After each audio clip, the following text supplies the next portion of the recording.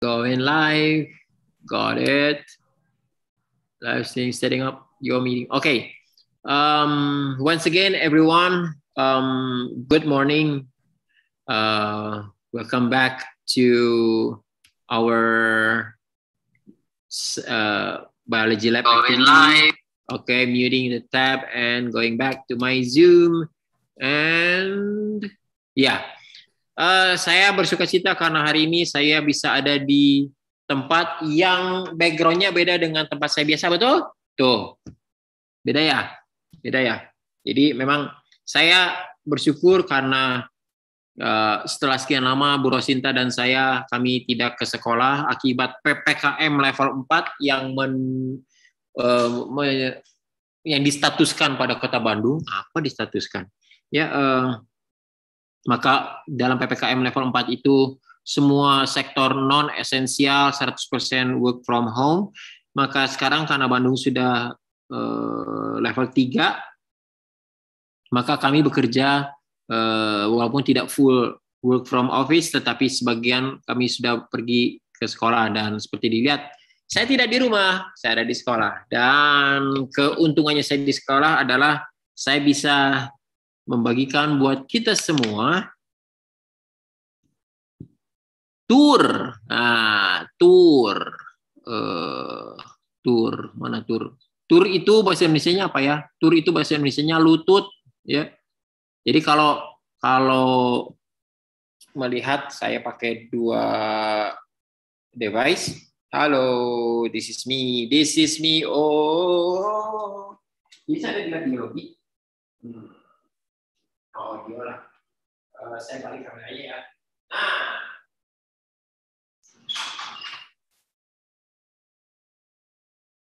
audio nih. Nah, ini ini saya di gedung di mana berada. Kelas-kelas itu ada di sebelah sana. Sebelah sana, ngadapnya ke sebelah sono, ya, ke arah timur ya uh, selatan di sana, utara di sebelah sono, arah saya nih sini nih ini ke arah barat. Kita ada di lantai tiga.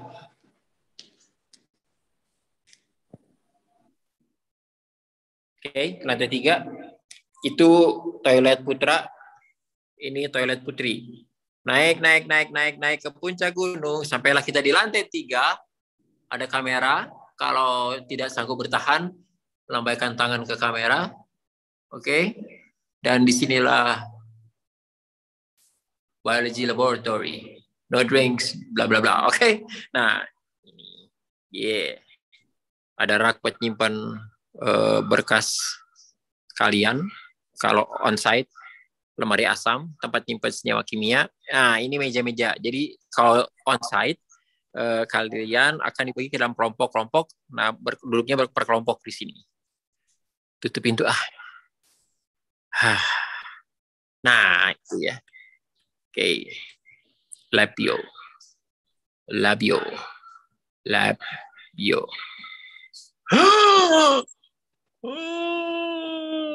Oke. Nggak segitu juga.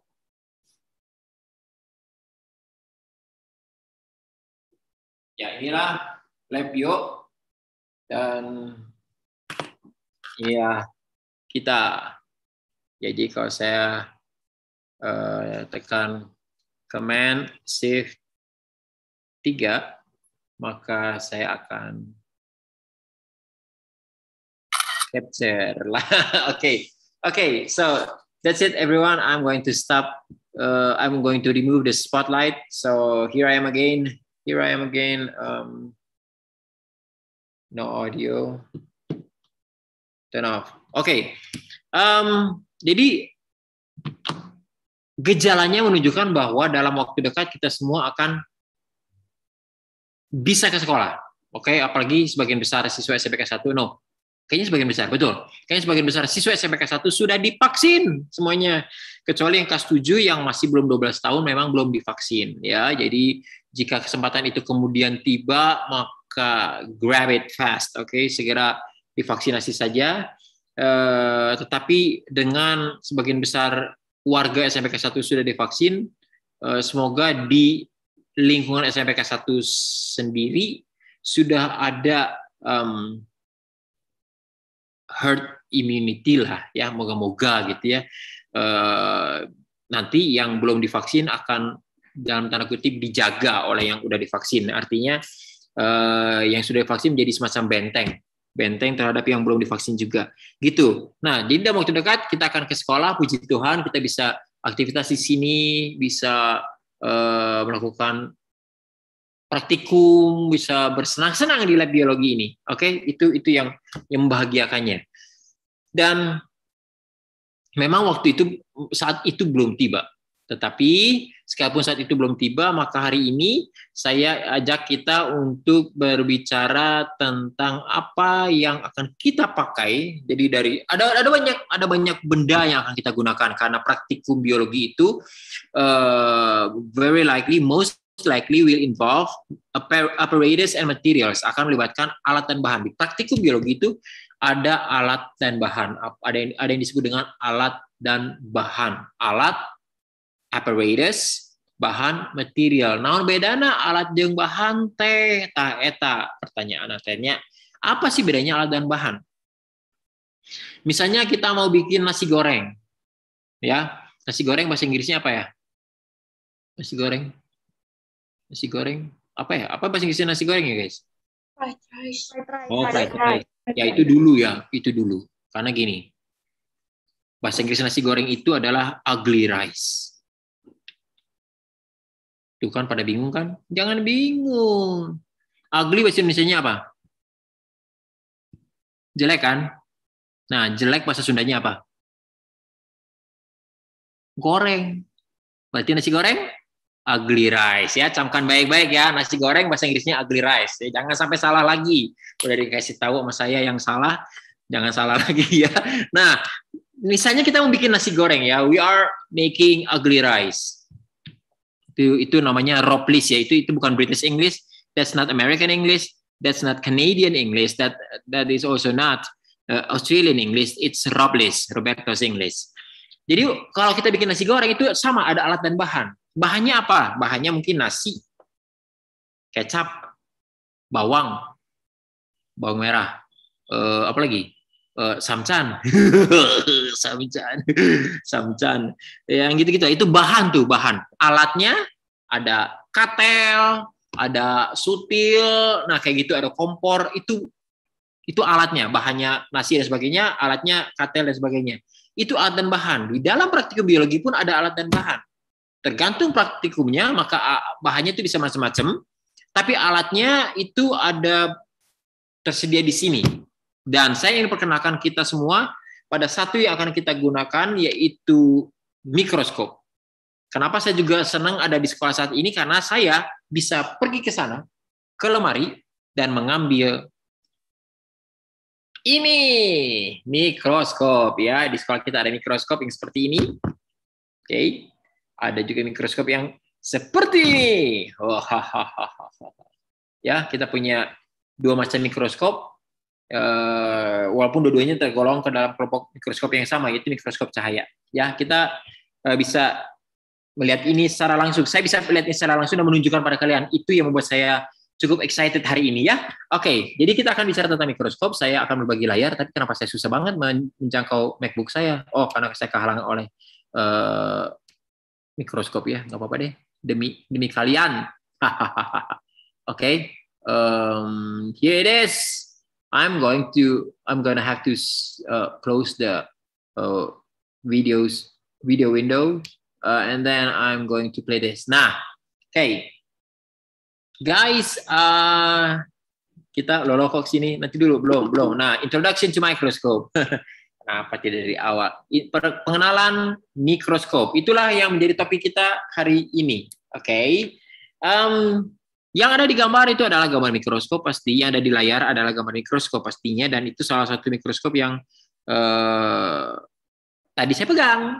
Ini yang pertama tadi ya. Ini ini uh, mikroskop yang kita punya di sekolah ini, dipakai oleh siswa-siswi SPK 1 program classical and regular. Oke. Okay? But as for the bigger one, it will be used by the DCP students, DCP class students. Nah, mikroskop teh naon? Mikro teh artinya letik. Nah, bukan letik ya, tapi letik kecil pisan. Mikro itu artinya kecil pisan. Kecil, kecil. Karena mikro itu kan artinya sepersejuta ya. Mikro itu artinya sepersejuta. Uh, sementara uh, kalau sepersejuta meter, kebayang sok seberapa kecilnya, ya. Nah, scope sendiri, scope sendiri artinya bisa apa ya? Um, view, ya, uh, apa yang kita lihat. So microscope talking about viewing, about melihat items which are tiny, small, microscope, alat untuk menolong kita untuk melihat benda-benda yang kecil, ya, sama, uh, ya kalau misalnya teleskop aja, tele kan artinya jauh gitu ya. Jadi untuk melihat benda-benda yang jauh, mikroskop untuk melihat benda-benda yang kecil, itulah mikroskop. Dan mikroskop itu menurut apa yang saya tunjukkan di layar ini, setidaknya ada dua macam. Oke, okay? yaitu pertama light microscope dan yang kedua electron microscope. Light microscope and electron microscope. Uh, namanya menunjukkan apa yang dibutuhkan oleh jenis mikroskop masing-masing ini untuk bisa melihat sesuatu dan memperbesarnya tentu saja. Jadi disebut light microscope karena untuk me, untuk bisa melihat objek menggunakan light microscope dibutuhkan cahaya. Oke, okay? karena itu pasti ada sumber cahayanya. Kalau di sini ini, ini sumber cahayanya. Ya, berupa cermin. Sama dengan yang saya punya di sini. Eh, saya punya, sekolah punya. Cermin. Tapi bisa jadi bukan cermin, melainkan seperti ini nih. Nah, ini udah embedded lamp. Ya, ini udah pakai lampu yang udah tertanam di sini. Ya, jadi yang ini lebih uh, easy lah, lebih gampang lah ya karena uh, apa? tinggal pencet tombol cetrek nyala oke okay? nyala gitu ya ini ini mikroskop cahaya nah uh, sementara ini mikroskop elektron berarti jelas untuk bisa melihat objek melihat sebuah image melalui mikroskop ini dibutuhkan elektron elektron ini berarti kita bicara tentang sesuatu yang uh, quite um, sophisticated, ya, quite complicated. The system is quite complicated. Beside, uh, kalau di dalam gambar ini kelihatan bahwa mikroskop saya dan mikroskop elektron tingginya kurang lebih sama, sebetulnya nggak gitu. Ya, ini yang saya yang saya tadi pegang yang pertama ini, mikroskop saya yang pertama yang tadi saya pegang itu, itu saya taksir, saya kira-kira dengan menggunakan jengkal, uh, tingginya sekitar 32 sentian, ya 32 sentian. Kalau saya pakai jengkal loh 32-an, ya 32 33 cm, 30 sampai 33 cm lah perkiraan saya. Sementara yang lebih tinggi ini, lebih besar ini, ini tingginya menurut taksiran jengkalan saya sekitar 37 cm doang. Maka kalau ngelihat mikroskop elektron itu jelas jauh lah. Itu ada mejanya. Di mejanya ada laci dua. Di dalam laci ada silver queen, ada kopi, ada kacang rosta, ada macam-macam. Susu ultra ada di situ semua. Terus ada CPU, ada itu stabilizer, ada layar monitor, ada tombol-tombol banyak. Sama tuh tabung yang tinggi banget nih. Saya cukup yakin kalau saya berdiri di hadapan meja ini, maka tinggi eh, tabung eh, mikroskop ini jauh lebih tinggi dari bukan jauh pasti lebih tinggi dari saya. Pasti. Ini, adalah mungkin dua meteran. Ya tinggi saya cuma 171 ya ini ini tinggi nih ini tinggi jadi ukurannya tidak mewakili ya. Gambar ini tidak mewakili ukuran yang sebenarnya perbandingan ukuran yang sebenarnya. Uh, tetapi inilah kedua jenis mikroskop yang yang ada. Um, di sekolah kita cuma ada mikroskop cahaya nggak ada mikroskop elektron. Mengapa? Karena untuk level secondary school untuk level sekolah meneng, uh, sekolah kita masih pendidikan dasar ya SMP um, kita belum perlu. Belum perlu electron microscope. That's the first reason. But the second reason would be it's so it uh, it's so very oh my godly expensive. Oke, okay? mahal mahal pisan gitu ya. Karena on beli anu mahal pisan. Jangan kan itu, yang ini aja nih, yang light microscope ini, ini lumayan ini. Kalau kita pakai uangnya buat makan mirica tuh, wah itu sampai kemudian bosan mirica itu wah itu kenyang banget sekeluarga makan itu ya jadi inilah mikroskop yang uh, saya hendak perkenalkan pada kalian semua. Bedanya apa? Bedanya selain dari um, sumber cahayanya, ya satu uh, eh sorry selain dari uh, sumber yang memampukan kita untuk melihat image berupa cahaya dan elektron tapi juga karena yang satu menggunakan cahaya yang satu menggunakan elektron maka perbesarannya juga berbeda. Namanya juga mikroskop. Dia akan membuat suatu objek tampak lebih besar. Nah seberapa lebih besarkah uh, objek terlihat jika menggunakan mikroskop cahaya di dengan mikroskop yang saya pegang ini ini paling besar eh, perbesaran tertingginya adalah hanya seribu. Seribu kali lebih besar. Jadi kalau ada semut panjangnya satu milimeter maka dia menjadi seolah-olah besarnya panjangnya seribu milimeter. Kira-kira gitu ya. Tapi mikroskop elektron wah itu bisa tuh. Sejuta kali juga bisa tuh nyampe tuh. Kelihatan sejuta kalinya. Jadi artinya lebih uh, kuat more powerful in magnifying objects Begitu. Dan elektron mikroskop itu ada dua macam, TEM dan SEM. TEM singkatan dari Transmission Electron Microscope, while SEM is Scanning Electron Microscope. What's the difference? The difference between the two is that the TEM, um, with its powerful ability to magnify objects, ya, yeah, dia uh, the images that produced that uh, what is that? Uh, given to us ya by its work ya itu uh, more like two dimensional. KTM itu lebih ke dua dimensi. Contoh kalau diperhatiin gambar ini dengan teliti ya, ini ini uh, kayaknya gambar di dalam sel tapi sangat detail, besar gitu ya. Uh, tapi dua dimensi. Kalau SEM, scanning electron microscope lain, dia three dimensional. Nanti kita lihat. Gitu. Itulah dua jenis mikroskop yang bisa kita um, kenali saat ini. Adakah pertanyaan sampai di situ? Adakah pertanyaan di bumi ini? Oke, kalau nggak ada nggak apa-apa deh. Nah, saya masuk ke slide berikutnya yang berisi sebuah video. Saya play ya. I play the video, Mister.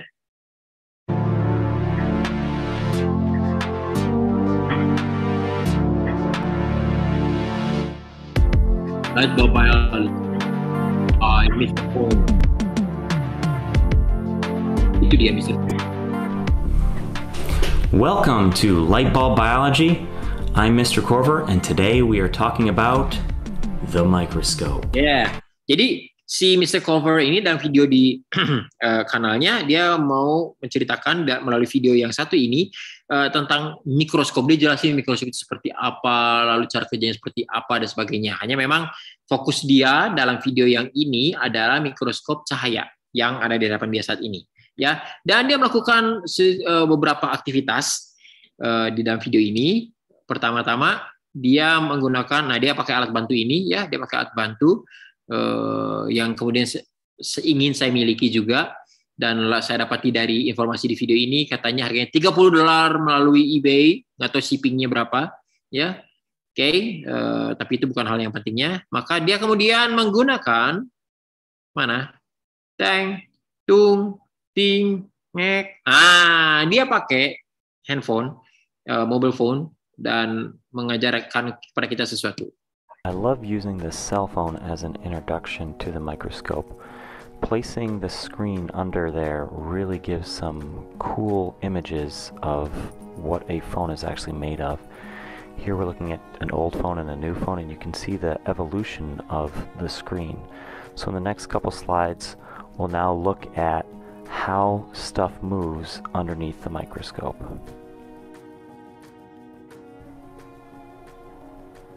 Here I'm scrolling down and you can see the image moves up. Here I scroll up and the image moves down. Here I scroll to the left and the image moves right. And here I scroll to the right and the image moves to the left. Saya pause karena bagian barusan nih yang tadi kamu dengar itu adalah satu bagian yang cukup penting untuk diperhatikan ketika kita menggunakan mikroskop, guys. Here I scroll down and the image moves up. Here I scrolls up and the image moves down.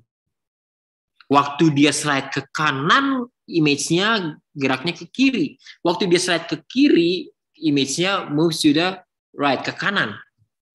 Satu hal yang penting tentang uh, image yang dihasilkan oleh mikroskop adalah gambar yang bayang, gambar atau bayangan yang dihasilkan oleh mikroskop itu inverted atau terbalik. Itu penting diperhatikan. Oke, okay? itu penting untuk diperhatikan. Jadi next time ketika kamu mengamati sebuah objek, lalu kemudian uh, titik pengamatan kamu, uh, item yang sedang kamu cari itu terla ada terlalu uh, di sebelah kiri, ya maka ke mana kamu harus geser si si objeknya?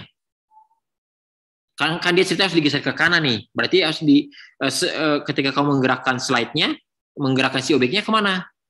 Bukan ke kanan, tapi ke kiri. Karena kalau kamu gerakin ke kiri, maka objeknya akan eh, maka dia yang terlihat akan bergeser ke kanan, gitu. The image you see under a microscope is inverted. That's the first thing important for us to remember. Any question? Kalau tidak ada, lanjut lagi. Mana? Nah, selain menggunakan uh, phone tadi, maka dia juga kemudian pergi ke luar, mendaki gunung, lewati lembah, sungai mengalir deras ke samudra bersama teman bertualang. Dia pergi ke karangan siapa? Pergi ke sebuah wilayah area, kayaknya rawa, rawa dan uh, saja di rawa ada air. What I like to do is find the nastiest water around and then get the nastiest of the nasty water. Nasty water. Getting the stuff at the very very bottom and placing that on Ambil dari paling bawah. Dari because there are some really things that live in nasty water. Nasty water. okay. So we're going to yeah, use jadi turn your microscope on.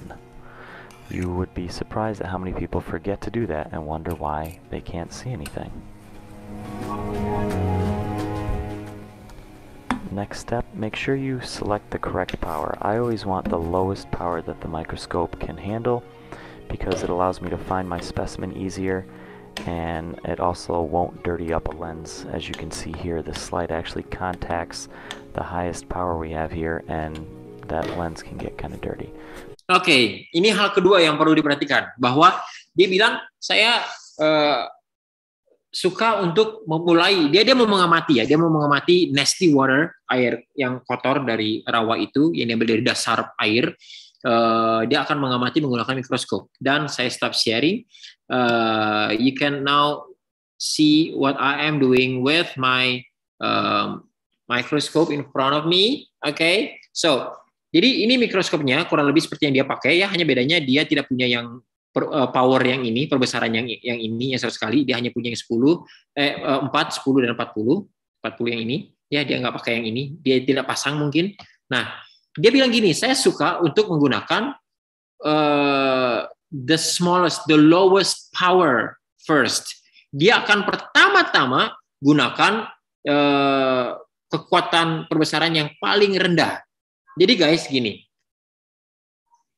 mikroskop juga adalah sebuah alat optik. Alat optik karena mereka menggunakan lensa-lensa. Oke, okay? mereka menggunakan lensa-lensa. Dan uh, lensa pada mikroskop itu ada di dua tempat. Satu di sini.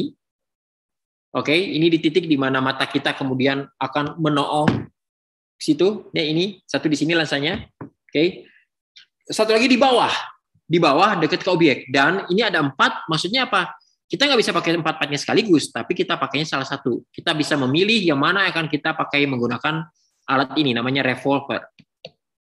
When we revolve this part, it will allow us to select which power we are using, gitu ya. Jadi revolver ini akan menolong kita untuk memilih.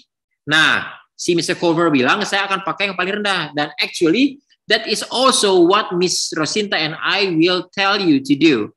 Jadi nanti kami juga pasti akan bilang ke kalian gini, sama, sama, prinsipnya sama, bahwa setiap kali kita mengamati objek menggunakan mikroskop, kita harus biasakan untuk menggunakan perbesaran yang paling rendah, which is this one, the one with red ring yang ada cincin merah ini. Ini paling rendah nih, empat kali, oke? Okay? Yang cincin kuning 10 kali, yang cincin biru 40 kali, yang putih 100 kali. Oke. Okay? Jadi pakainya ini. Kenapa katanya uh, pakai yang paling kecil? Karena satu kata dia, dia mem membantu Mr. Cover dan kita semua untuk lebih mudah menemukan, lebih mudah menemukan uh, apa yang dia cari. Misalnya nih, kita mau nyari, uh, kita ada di lapangan terbuka, lalu kemudian uh, pop it kita ketika uh, jatuh di tengah-tengah lapang. Nah, pop it udah pada gede main pop it, ya. Nah, uh, mencari dari dari uh, ketika kita di tengah lapang berdiri di situ melihat ke kanan kiri nggak gampang, nggak segampang dibandingkan dengan misalnya kita pakai apa sih namanya yang diterbangin teh? apa sih namanya yang yang drone. Apa? Drone. Drone. Drone ya. Dibandingkan dengan drone dilihat dari atas gitu. Dilihat dari uh, dengan drone dilihat dari atas uh, sehingga semuanya terlihat lebih kecil gitu ya. Uh, kelihatan semuanya.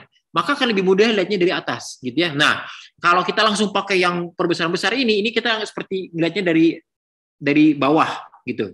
Kalau pakai yang ini.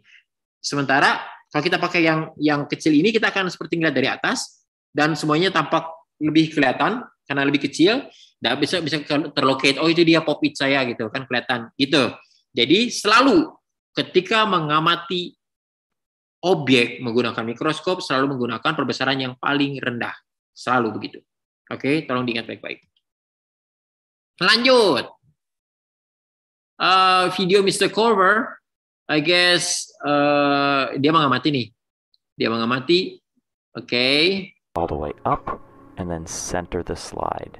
So that is the TP. Inilah yang dia lihat turn uh, power dari air yang diambil. Stage, Nih. Center the slide. Wow, cute, lucu, imut. Gitu kan bagi sebagian orang, bagi sebagian orang lagi, ih, DJ, gitu. gross, that's gross. Uh, alih-alih imut ini mungkin amit buat sebagian orang, tetapi ya inilah yang dia bisa lihat. Kita bisa lihat menggunakan mikroskop cahaya ya. Tuh, ada gerak-gerak di air. Jadi jangan senang-senang aja tuh kalau ada genangan air tuh langsung main air gitu. Jangan senang-senang aja tuh banyak juga penghuninya. Ini diperbesar nih. Focusing. Nah, tuh lebih jelas. Oke, okay. seperti itu. Uh, inilah berikutnya. Ini mikroskop saya. Cell phone light. You can use dari ngengat moth wing. Uh, side light. To figure out how strong your field of view is, 40. Nanti silakan cari uh, video dan uh, nonton lagi. Saya nggak akan ya lagi nggak. Nah, diperbesar lagi. Seperti itu. Ini mikroskop cahaya, guys. Ini mikroskop cahaya. Dan mari kita sekarang lihat bagaimana dengan mikroskop elektron.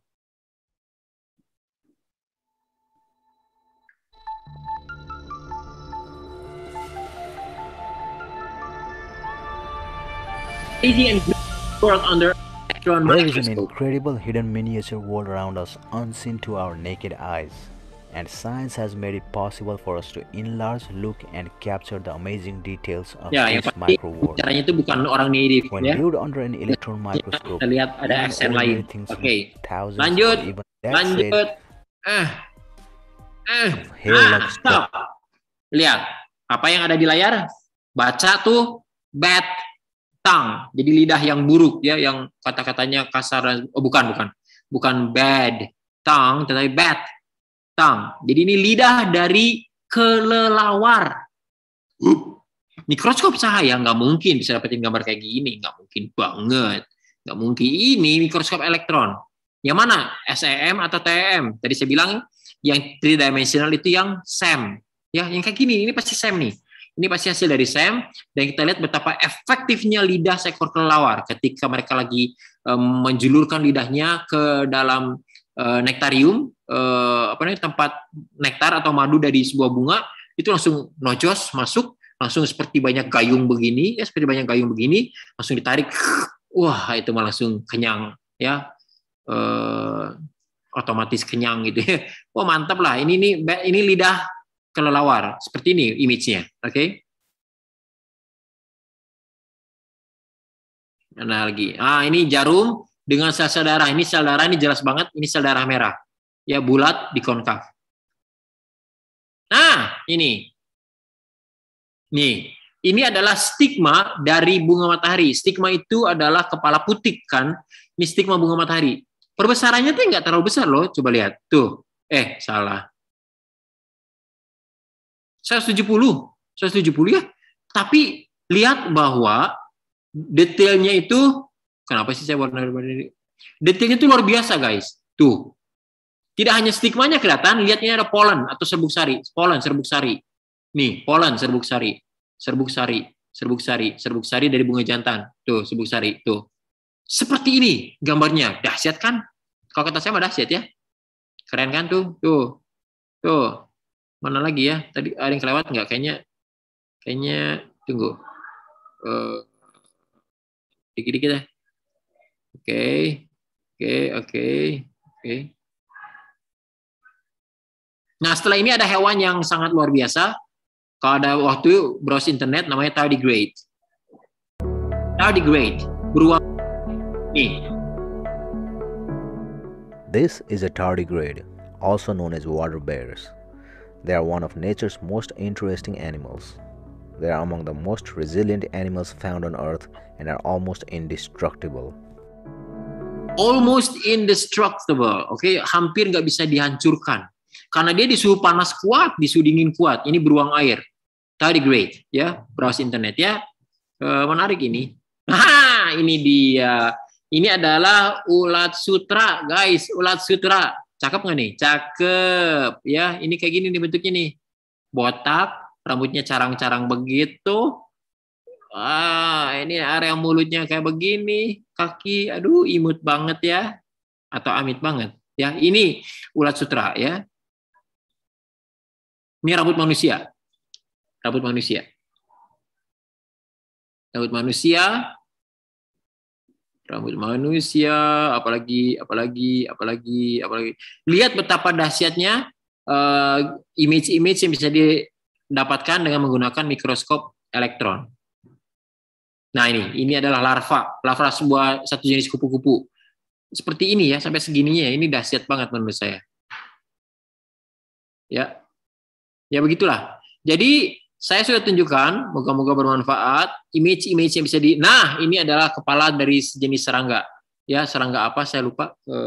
oh, ladybug. Kalau kalau kamu sering main hidden objects ya, itu seingat saya itu banyak sering kali melibatkan ladybug. Ladybug itu kumbang yang warnanya merah terus ada totol-totol hitam teh. Nah, ini ini kepalanya ladybug. Ya kayak terbuat dari kulit ini. Ya, ini matanya mata faset, mata faset, ini bagian mulutnya. Ini ladybug dan seterusnya. So, uh, I guess, oops, ini juga larva ya. Cakep banget bukan? Oh ya, kayak apa nih? Oke, okay, nggak usah dibayangin deh, nanti makan siangnya hilang selera. Nah, intinya memang uh, itulah image-image yang bisa diperoleh dengan uh, menggunakan mikroskop dan uh, sudah tahu ya seperti apa. Nah, kita kali ini akan lebih jauh lagi mempelajari tentang mikroskop. So, For this purpose, I've provided you with a worksheet. Untuk keperluan ini, saya telah menyediakan sebuah LKS worksheet untuk dikerjakan. Oke, okay? um, worksheetnya bisa diambil di bit.ly slash LKS mikroskop. Oke, okay? bit.ly slash LKS mikroskop. Atau saya tulis di chat ya, saya ketik di chat ya. Atau saya ketik di chat, ini adalah um, apa namanya bukan bukan ketik, saya akan tempelkan di chat LKS-nya. Saya tempelin di chat LKS-nya, silakan ambil. Kalau nggak mau lewat Bitly, uh, ambil aja dari chat box. Tuh, 112 kilobyte on its way and it's there. Bisa kelihatan? Bisa ditangkap? Bisa diambil? Bisa, Pak. Bisa ya, puji Tuhan. Bisa bisa. Ada kalau ada yang mas ada yang mengalami masalah silakan report immediately. And um, I will also attach the long uh, link ya uh, tautan panjangnya seperti itu ya. Atau bit.ly slash lks mikroskop. Mikroskopnya bahasa Indonesia. Jadi pakai k mikroskop. Ya silakan diambil silakan diambil silakan diambil silakan diambil. Silakan diambil. Silakan diambil, ambil, ambil, ambil. Nah, um, jadi memang untuk keperluan hari ini saya telah membuat sebuah uh, video. Oke, okay, saya telah membuat sebuah video dan saya udah unggah di YouTube. Biasa, youtuber, youtuber pemula. Oke, okay. uh, video di YouTube. Um, let me share my screen again. I'm going to share the browser and here it is. And the video I was talking about is ini.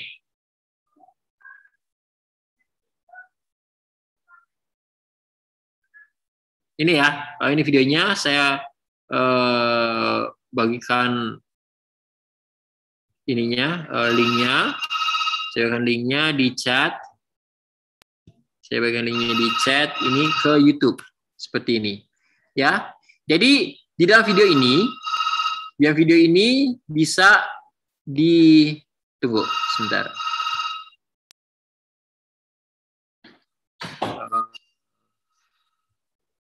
Bisa dilihat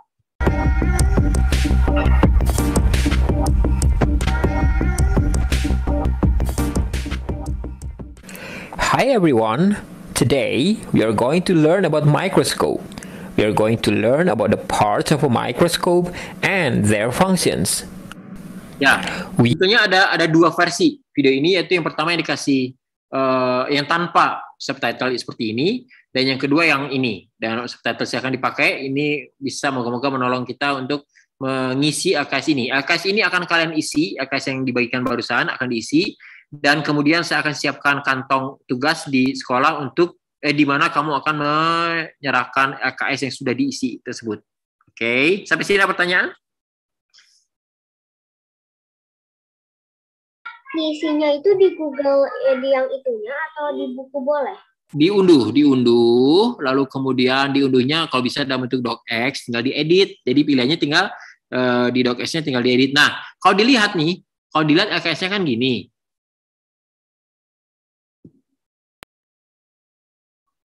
Gini kan ya? Nah, seperti ini. Ya, ini gambar nih. Jadi kalau di diedit uh, dengan Word, ini kayaknya nggak bisa ditulis.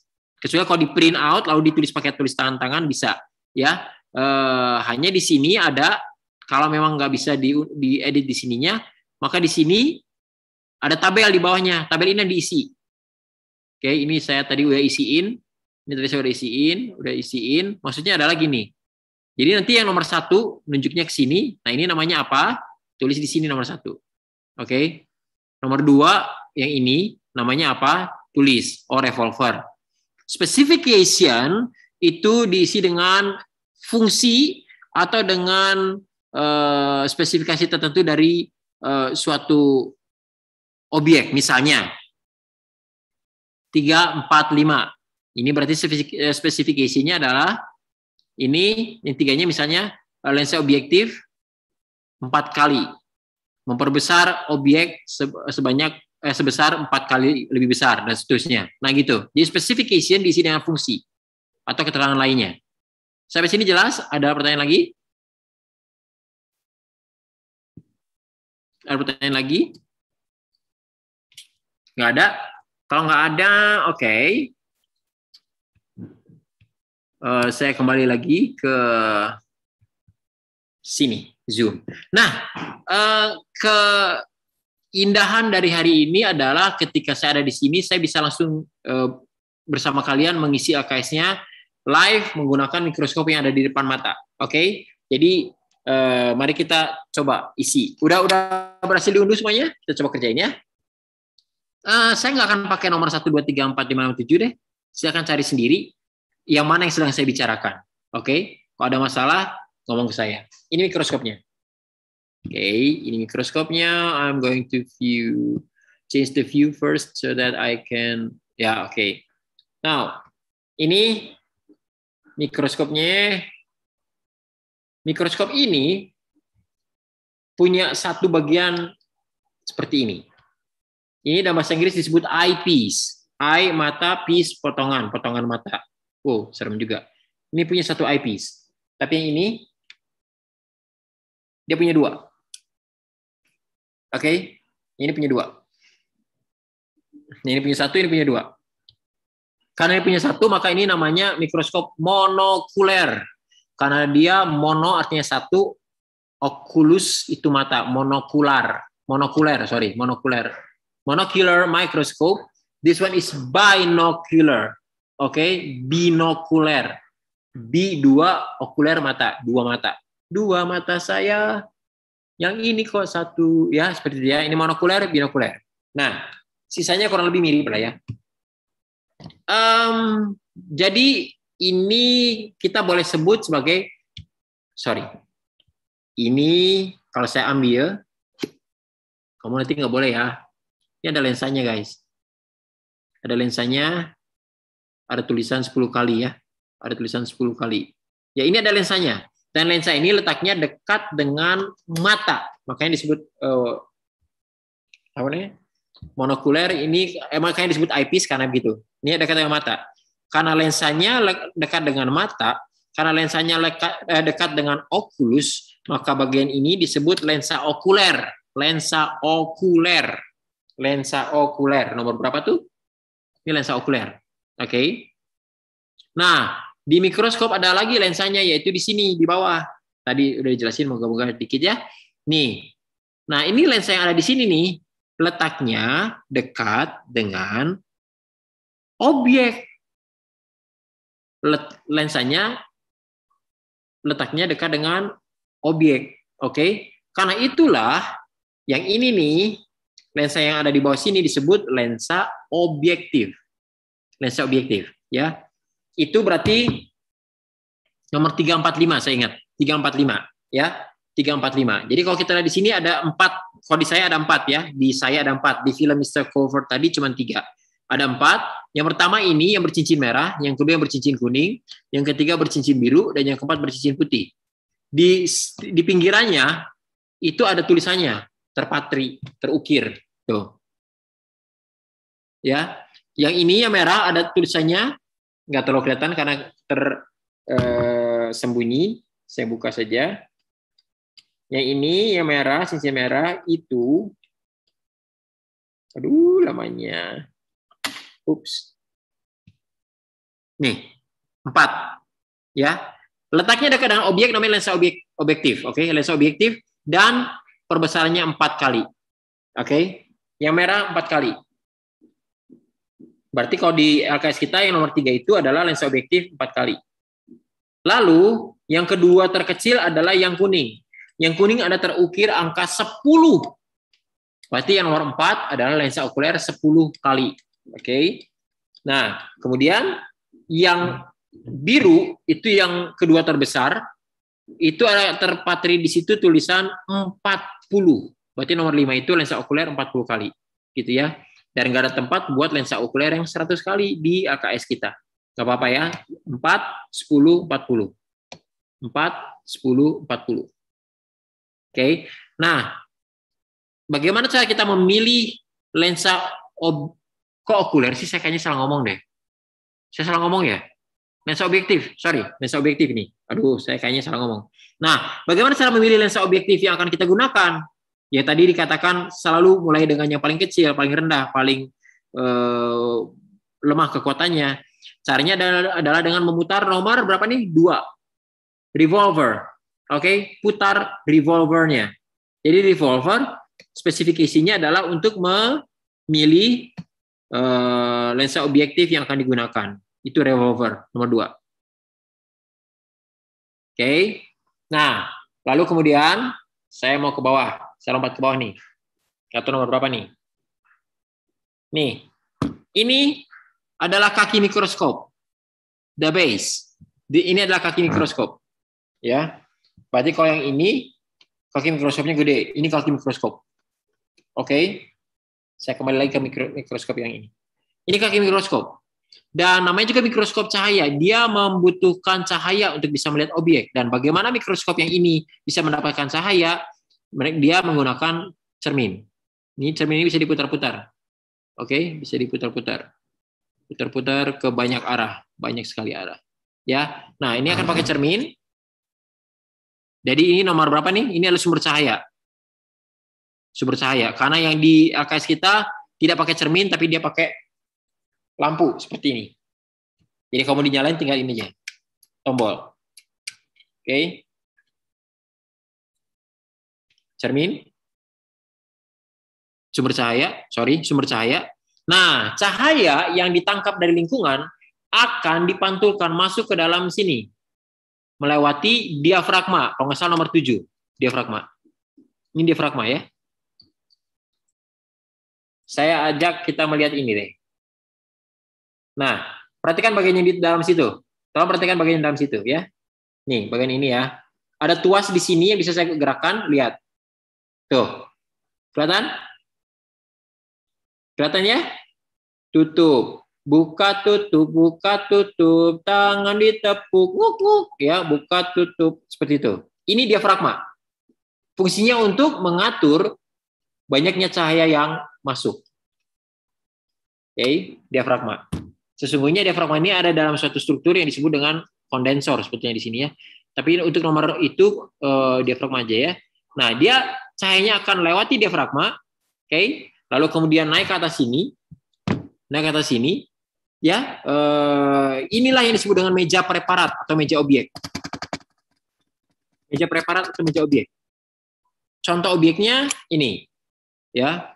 Ini adalah preparat awetan yang sekolah beli untuk bisa dengan mudah diawat, diamati. Ini preparatnya, kita taruh di meja preparat. Dijepit dengan penjepit preparat. Preparat. Nih. Ya, penjepit preparat atau penjepit objek. Meja preparat, penjepit preparat. Oke. Okay. Sampai sini ada yang mau ditanyakan atau saya kecepatan? Nggak ada? Puji Tuhan. Ya, nah, udah nanti cahayanya akan melewati objek, lalu kemudian masuk ke lensa objektif, lensa objektif, lalu kemudian naik ke atas, kena eh, terus diteruskan ke atas, diteruskan ke atas, lalu kemudian melewati lensa okuler dan sampai di mata. Dan ketika sudah sampai di mata lah kita bisa melihat oh ada sesuatu di sana, lalu kita amati. Oke. Okay? Nah, udah udah udah apalagi? Oh, ini untuk memegang mikroskop pada saat dipegang atau pada saat dipindahkan, sorry, pegangnya harus selalu dua tangan, jangan satu tangan, yang diayun, ya. Nah ini namanya lengan mikroskop, arm, arm. Agak beda sih di gambar, tapi ini adalah arm, ya. Nah sekarang, apakah semudah itu ketika kita simpan objek pengamatan di meja preparat, lalu kita intip di sini, eh, apa namanya di eyepiece, langsung kita dapetin gambar yang bagus? Belum tentu. Bisa saja blurry, bisa saja kemudian buram, gambarnya itu tidak fokus, sangat bisa jadi terjadi. Sangat bisa jadi terjadi. Ya, sangat mungkin terjadi. Nah, um, untuk itulah dibutuhkan dua benda ini, dua bagian ini. Ya, dua bagian ini. Ini simpelnya, simple, simple, papes, papes, Nah, simpelnya yang ini disebut makrometer. Makrometer. Kanan kiri. Kanan kiri kanan kiri putar makrometer. Oke, okay? oke. Okay. Lalu eh, yang ini simpelnya disebut mikrometer. Ya, kanan kiri kanan kiri sama ya. nah, eh, apa sih keduanya berfungsi untuk memfokuskan gambar. Oke. Okay?